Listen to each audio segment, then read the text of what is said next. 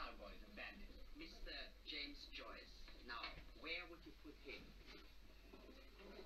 Do you mind repeating that question? I said, where would you put Mr. James Joyce? In what category? Can I ask, is Mr. Martins engaged on a new book? Yes. It's called The Third Man. A novel, Mr. Martins? It's a murder story. I've just started it. It's based on fact. Mr. Popescu. Oh, very great pleasure to see you here, Mr. Popescu. As you know, ladies and gentlemen.